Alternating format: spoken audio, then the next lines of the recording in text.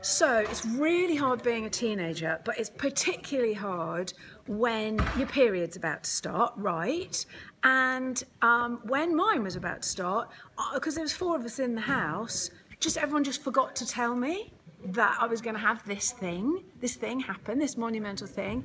And when it did eventually come, I was quite late, I'm not going to lie. Basically, I thought it was because I'd eaten Coco Pops for my breakfast and I thought it had come out of my body.